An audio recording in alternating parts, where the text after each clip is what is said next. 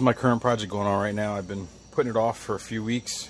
Uh, it's gotten to the point where I can no longer uh, put it off anymore. I've got to fix it. It's, uh, it's my wife's 2009 Volvo S40.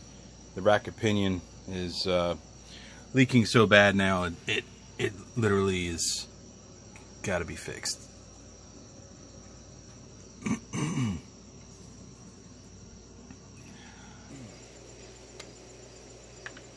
Already broke the lugs free. They're 19 millimeter, if you're wondering. 19 millimeter. You get the lugs off if you're not using a lug wrench.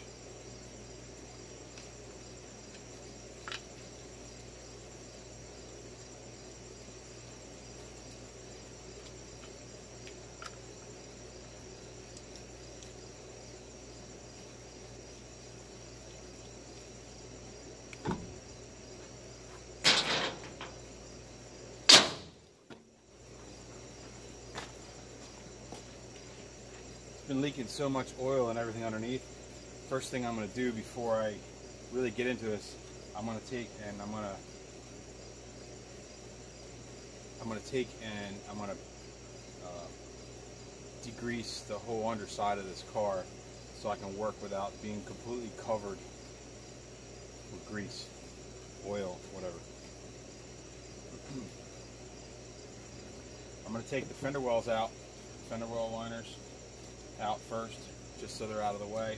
I'm going to pop the hood and I'm going to degrease the whole back side of the engine underneath, and I'm going to pressure wash it. Okay, who knows how many times this car has been apart and put back together, but there's um, we've got a Phillips head screwdriver, Phillips head screw on the first one. Then you got a T20 Torx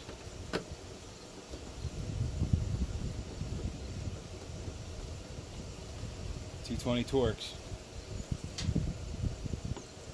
these next two.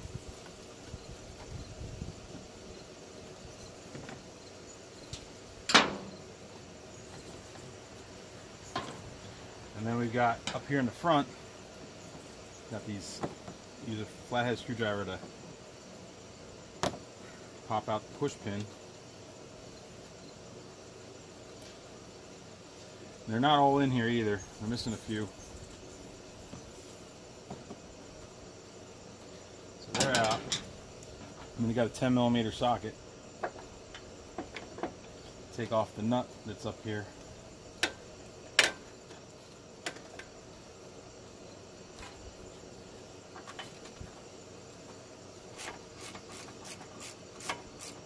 And once you get that nut, the last one,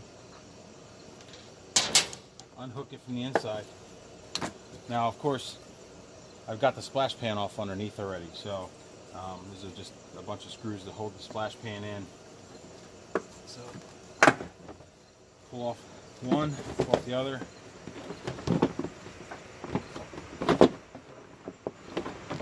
Fender wells out. Now I've got a little bit more room here, and I can get to the power steering pump uh, on this side get to my belts, you know, that's a whole nother project. I'm going to change the belts in it because uh, I think power steering fluid flung onto the belts and uh, making them squeak. So I'm going to take care of that while I'm doing this project.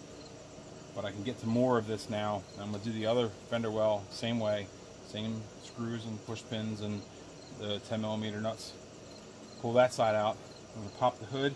I'm going to degrease the whole underside of this with some degreaser and then pressure wash it. So that way I don't end up covered in grease. Got this sad looking can of engine cleaner. It's been laying around my garage forever. It looks like it's been through hell. Uh, it still squirts, so I'm going to use it. And then I got this stuff too here. And I make sure I get it nice and good, get as much of the oil off as possible, and pressure wash it. I'm going to hit everything. I got got enough of this stuff laying around.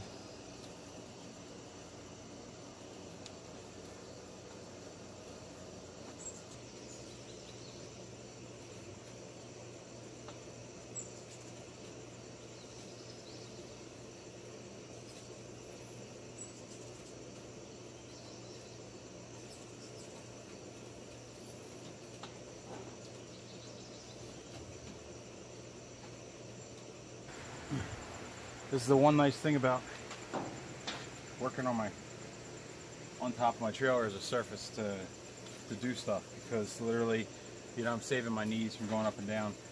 It's kind of like having your own personal car lift. You know, it, it may seem redneck, but I'm not even a redneck. I just work on stuff. So makes it easy to get things done. Break out the can of foamy stuff.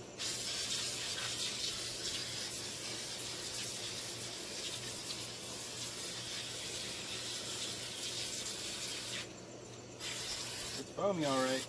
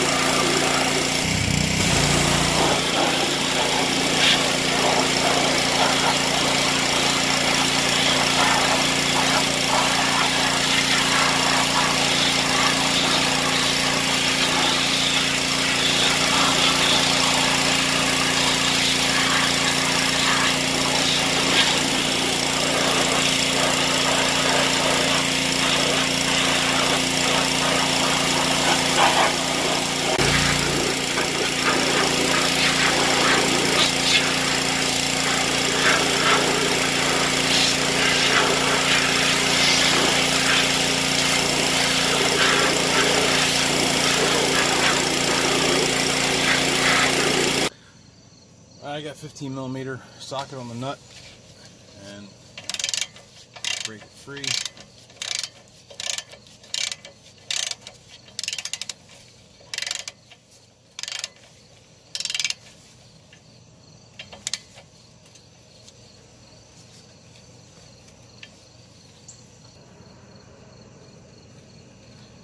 says not to pound on them unless you plan on if you plan on reusing them, but uh, I really don't plan on reusing this one, but still, I'm just gonna shock it free. So, okay, basically, all I gotta do is give it a nice little shot.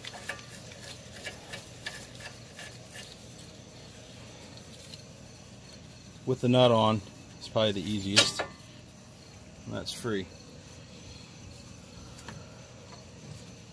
same thing on this side, 15 millimeter.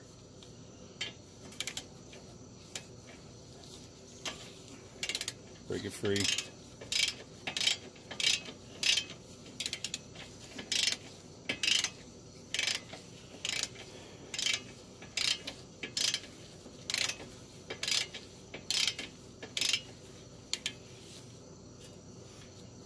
Loosen it up most of the way so it's still, on the threads. And give it a shot. And then once it's broke free, take the nut off.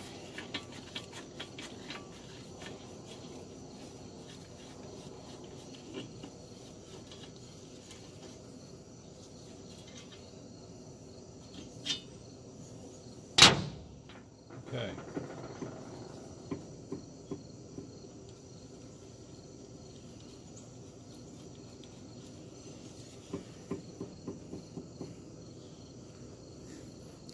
There's a ton of play on this side.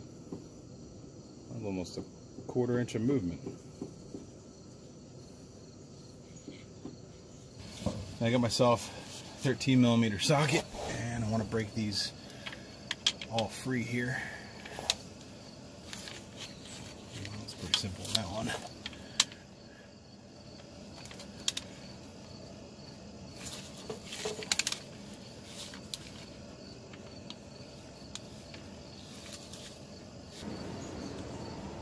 Some of this stuff really doesn't matter what order I take it off. It just has to come off.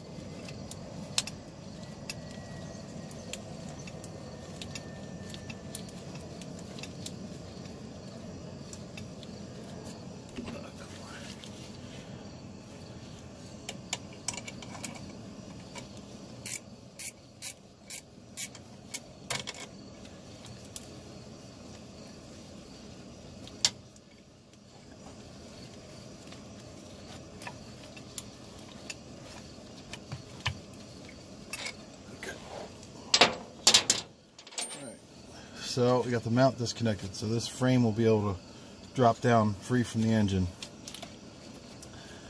This electric line is disconnected here. Um, it's got a heat shield on it.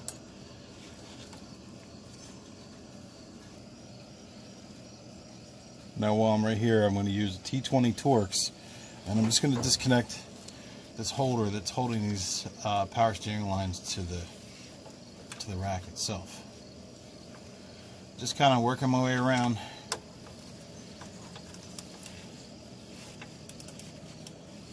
You know, disconnected everything to get it, get it so it's ready to drop down.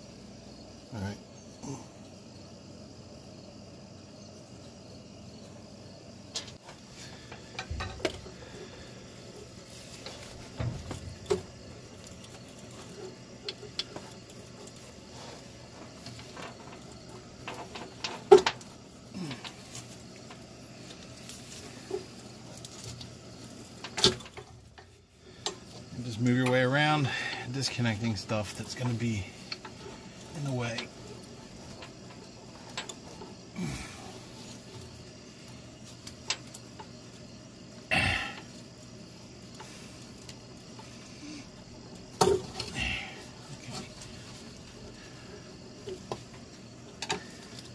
this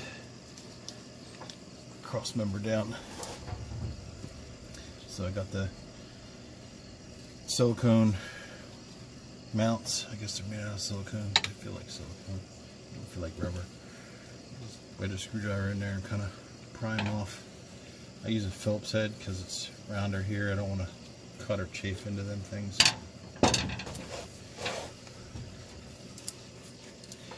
I use a Phillips head because it's uh, smooth and round so it doesn't cut or chafe into the, those grommets.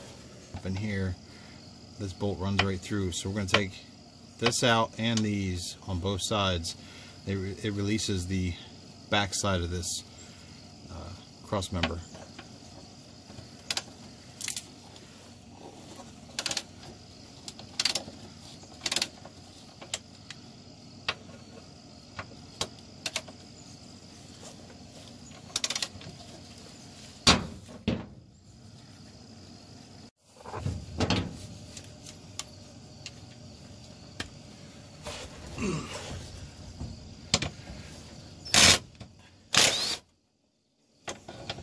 13 millimeter. If I didn't say that already.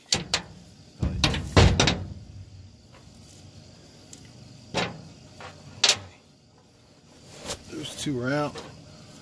Now you want to break this bolt free. This is a, give you an idea real quick, 13 16ths.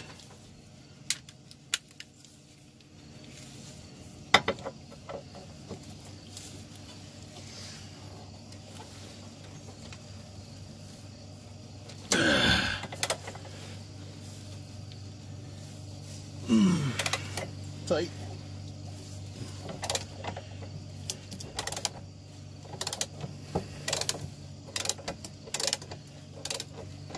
Alright, nothing's going to drop down here because there's still one other main bolt that holds the whole cross member in. So we can take these off.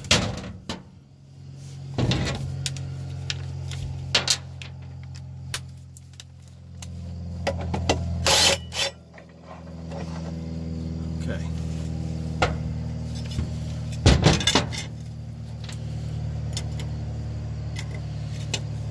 Keep the bolts together to remember what goes where. You know, issues remembering, refer to the video. Break them free, 13 millimeter. That was that tight.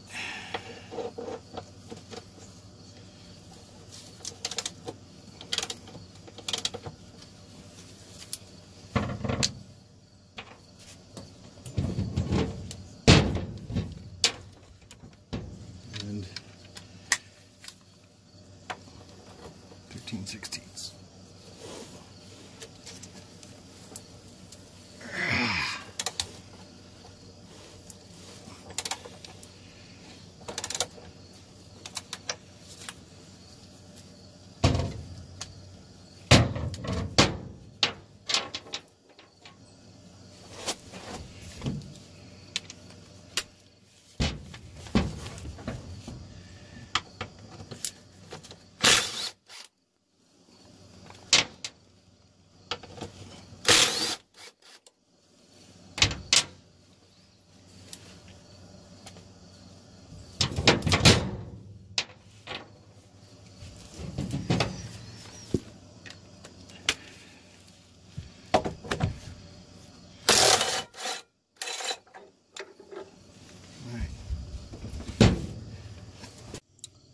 Okay, before I go any further, let me get this disconnected from the inside of the car. So, in order to get this disconnected, it's a 10 millimeter socket.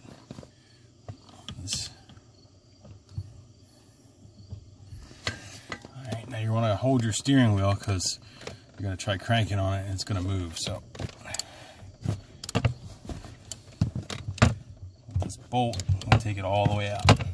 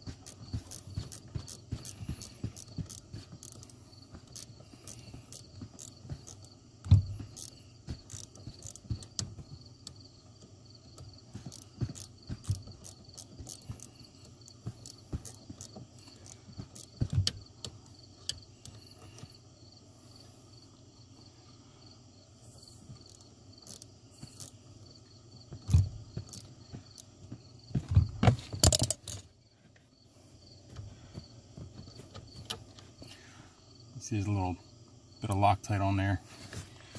So when you put it back together, you're gonna wanna put a dab of Loctite on it. So, okay, now it's free. And this is part of your collapsible steering column.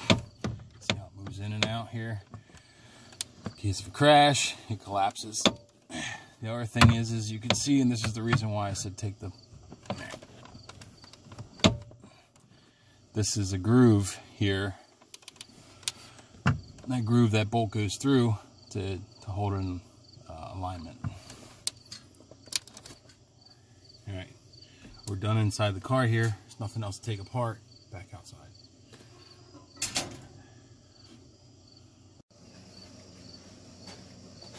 All right, I'm just gonna slide my jack under here, position it under the subframe so I can take the other two bolts out that hold it in place.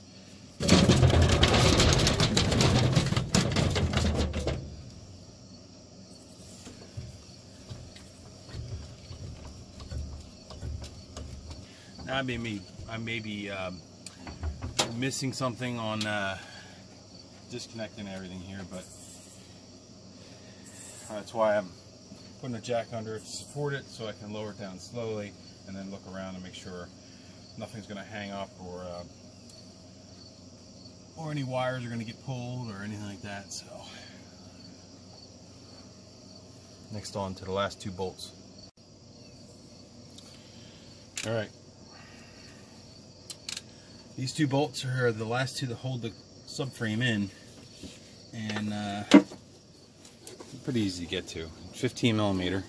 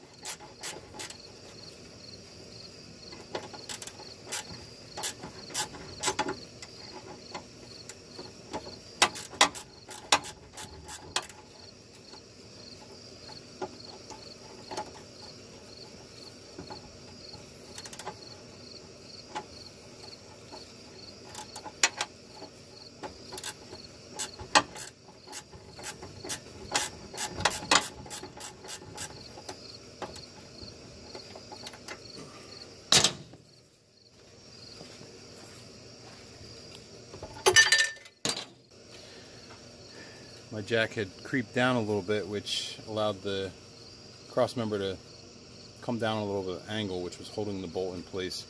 Once I jacked up on it, it dropped the bolt right out. I didn't disconnect the sway bar or links or anything like that. I'm just going to lower it straight down to get an idea what kind of room I have and uh, what else still needs to be disconnected. The power steering line rubber hose here is going to flex a little bit to allow me some room to come down. I still have to disconnect the line going into the rack. And there's this electric line here is connected to the rack that has a plug on the other side of it, underneath the rack. So just go down here, see what moves.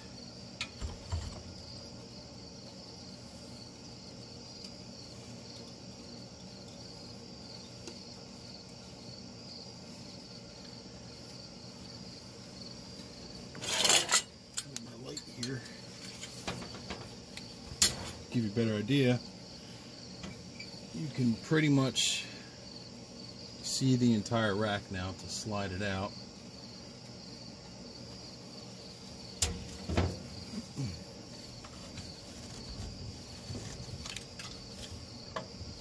A little bit on my jack. It's kind of just hanging here by itself, so I gotta look around, make sure nothing's holding it up.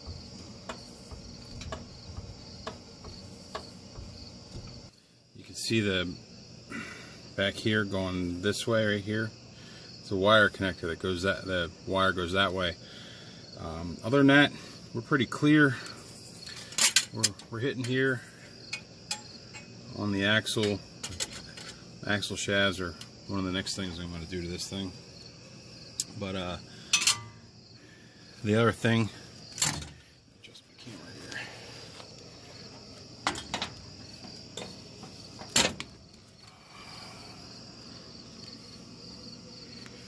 My the uh, rubber exhaust grommets are hitting keeping it from coming down in that spot. So there's a couple little spots but once I get it it should come all the way down. Alright once I get everything to clear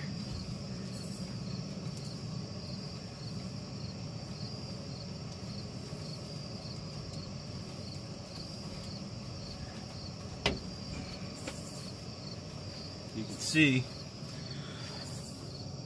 Here's the the line. And uh, see here on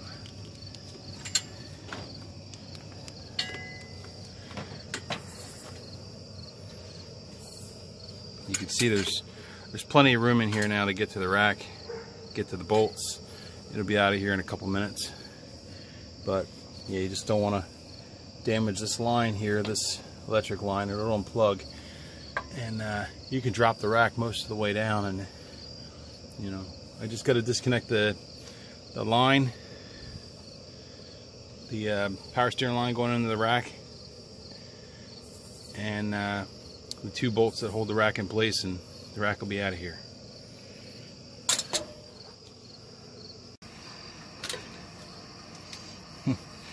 Okay, well it slides right out of the clamp there.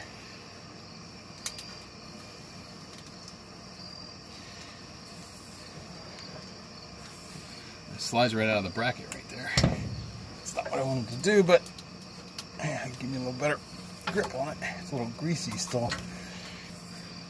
Push that little tab, it comes free, and just don't forget to put it back together when we put it all back in.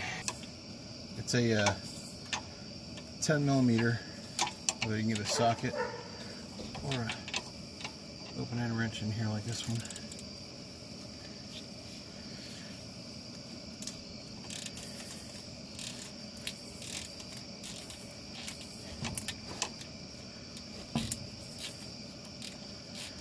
Slid the oil can, that oil catch can underneath of it in case any power steering fluids leaks out of it.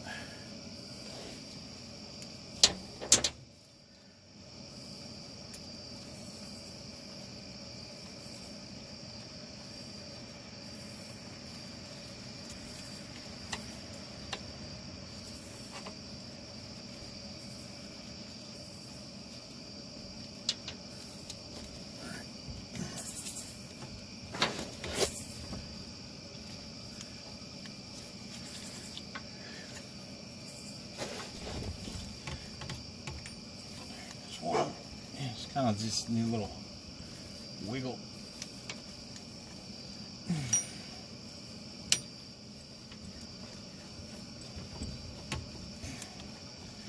Come on.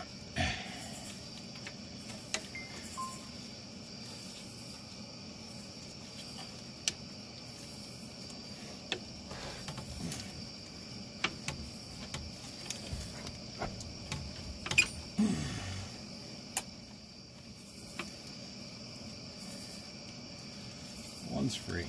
The other one's stuck. Come.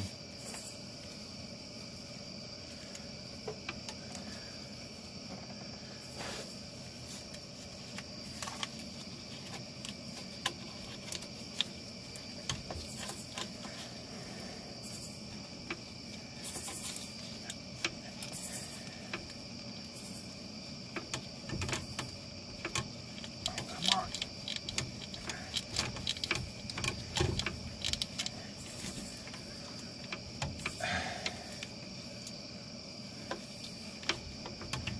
There it is. All right. All right. The line's out. It only leaked a little bit. Not too bad. Go this way. No. it's got like a little it flips up. Couldn't see that from where I was at.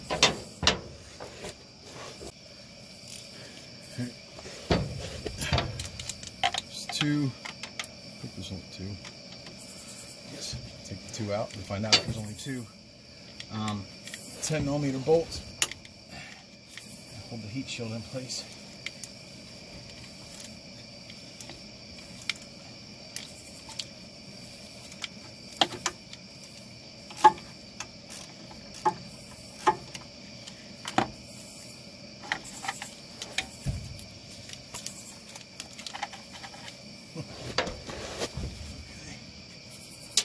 One.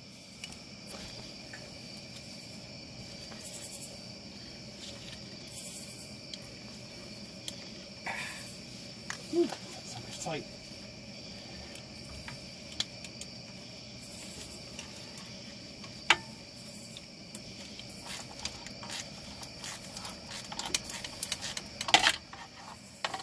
Almost. Couple more turns.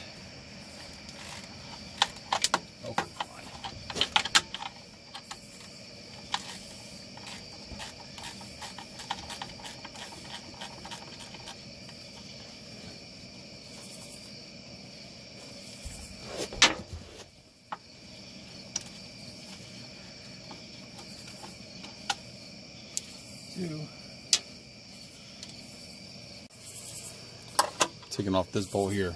There's uh, three bolts that hold the heat shield in place on the power steering rack.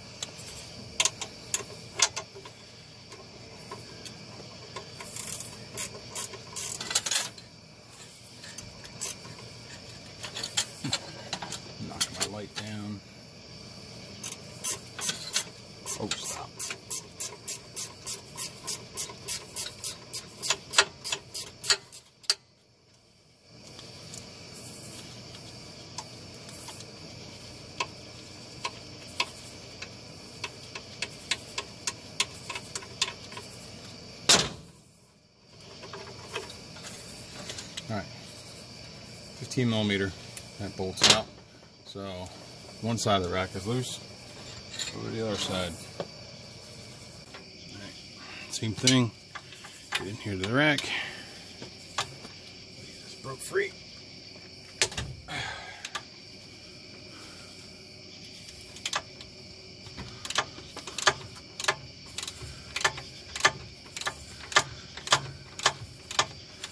Alright. There's that.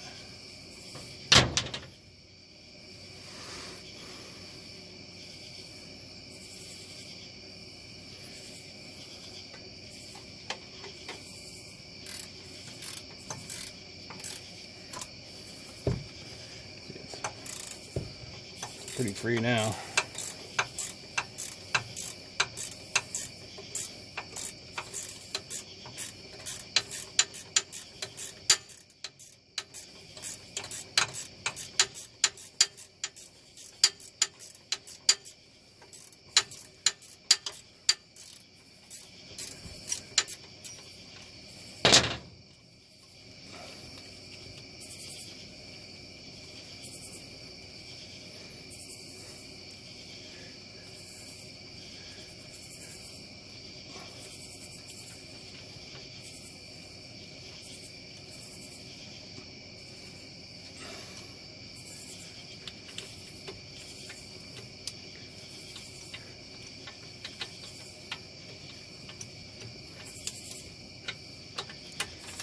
Alright, that bolts out. I think I got enough body, room between this and the body to squeeze it out, so I'm going to push it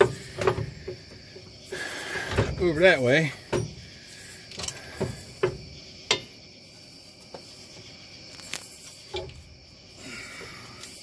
To the passenger side to get this over here. I'm going to pull it back.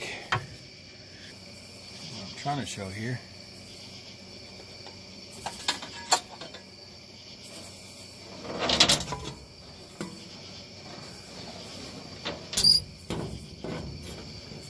with the with the cross member pretty much all the way down.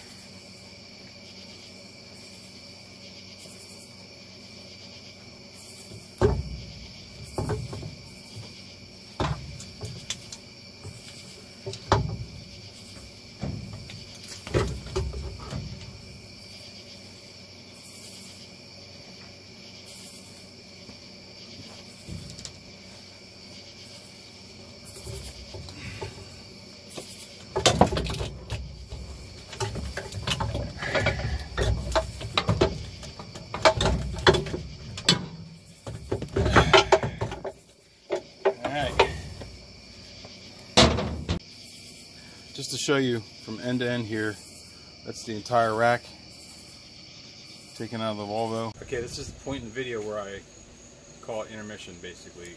The old rack's out and then get ready to put the new rack back in.